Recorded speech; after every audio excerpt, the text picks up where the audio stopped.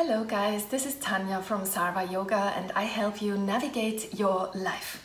Today it's time for your Libra July 2020 Tarot. And that's why we're gonna start with a little bit of Guardian Angel Spray for cleansing the aura here. And then we're gonna start shuffling with the tarot deck.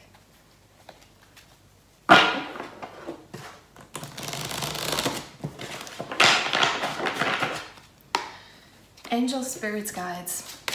Is there any information for Libra, please, for the month of July 2020? Thank you. Wow, okay. Any further information for Libra for July 2020? Any information for Libra for July 2020, please? Any information? Thank you.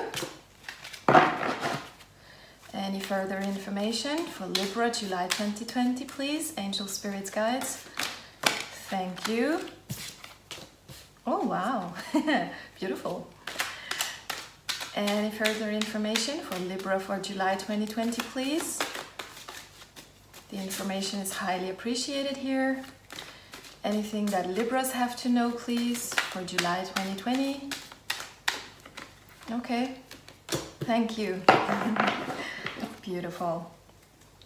Okay then, we're gonna shuffle from this little positive affirmation deck.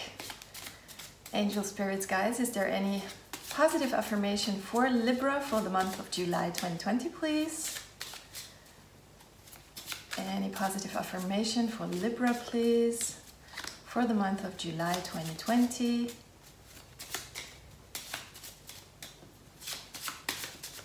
Any information for Libra? Positive affirmation for Libra, please. Angel Spirits Guides. Okay, I think it's that one. Beautiful. Bear with me because after the shuffling, we're gonna go into your interpretation. But now I'm gonna pull from another deck. This is the Angel Answer deck. Angel Spirits Guides, is there any information for Libra for July 2020, please? Any information for Libra for July 2020? Thank you. Okay, any other information for Libra for July? Anything else? Okay, thank you. Beautiful. I like it. Hmm. Now let's try another angel deck.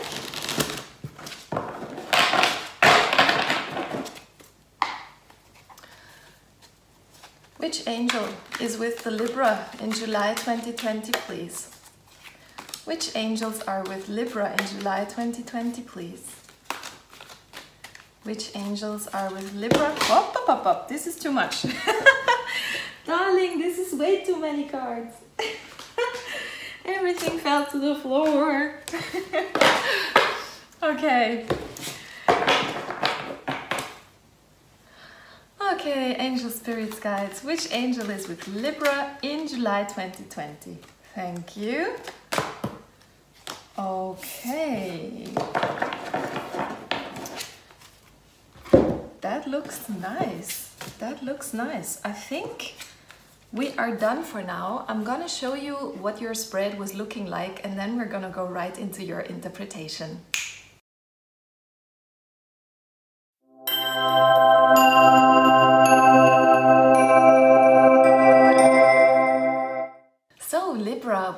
Into your interpretation. The first card that fell out was a Major Arcana, that's the Emperor.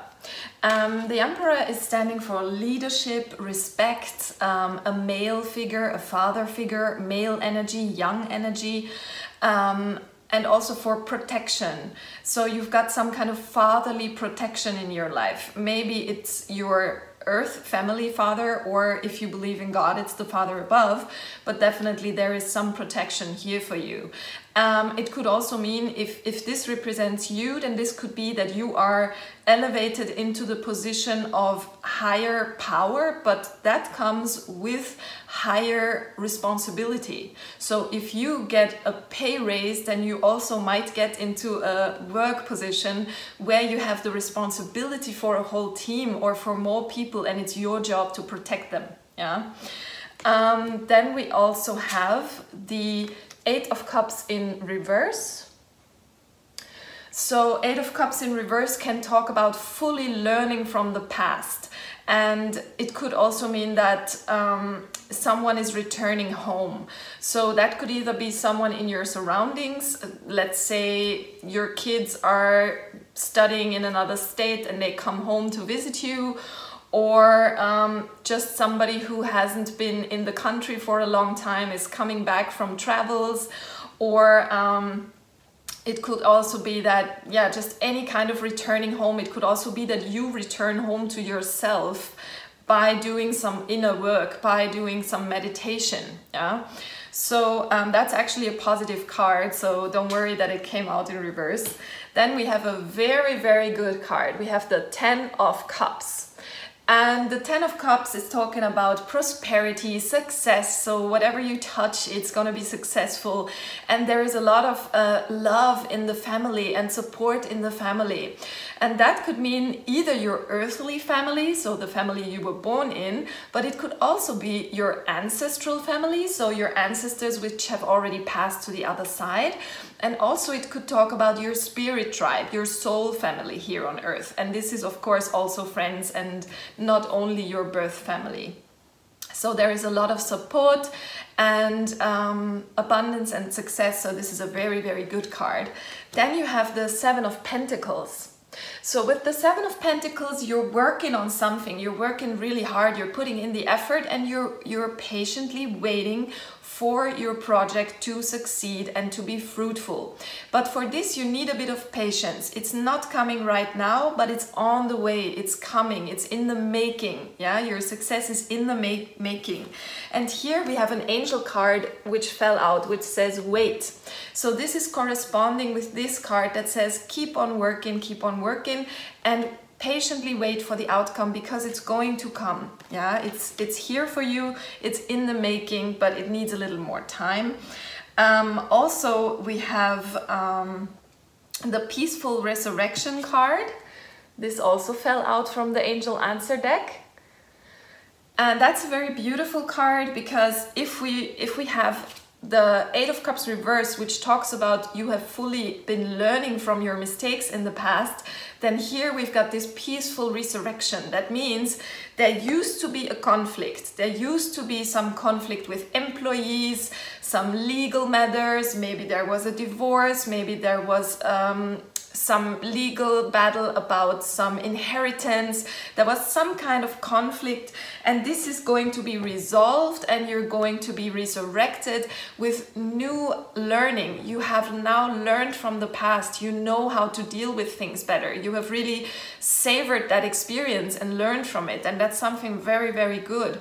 So also this means that um, all disagreements will be resolved in your favor. Yeah, there will be a good compromise, a win-win situation, which is the best for everyone involved. And yeah, that's actually a very good sign. Then also, uh, I was asking which angel is with you in July, and it's the Archangel Metatron. He is encouraging you to make a leap of faith. And this card has the number zero. This is correlating, it is equal to the Fool in the Tarot.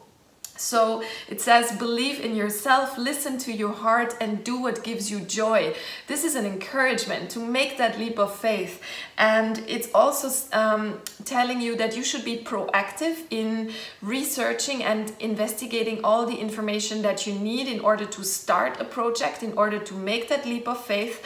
And don't let, and let the lack of experience hold you back because um, it's allowed for you to start something new and to literally suck at it at first. It's okay if because if you're just a starter, nobody has ever fallen from the sky being a master. You have to start somewhere and at first you're going to make mistakes, but that's fine. Yeah? So whatever you plan, don't let your being unexperienced stop you from it. This is an encouraging card. Take the leap of faith. Do it, whatever you dreamed of. Maybe it's starting a YouTube channel. Maybe it's starting a business. Maybe it's uh, creating. Um, an art exhibition, whatever it is for you, but do it. This is a very encouraging card. And it says here with the Seven of Pentacles, if you put in the work and if you're willing to wait and have some uh, patience, then all of the abundance will come out here with the Ten of Pentacles. So this is a very, very good horoscope, uh, or not horoscope, but tarot. And uh, I also pulled a, a card with a positive affirmation for you. And it says, I will make time for laughter and connection with family and friends. And here we are with the Ten of Pentacles. You see your family and friends here, how you're having laughter and conversation. So that is a very, very positive, whoop, it falls out of my hand. so I hope that this reading was uh, interesting for you. If you liked, then give it a like, comment, share, subscribe. And yeah, I'm happy to see you again for the reading of next month. Bye!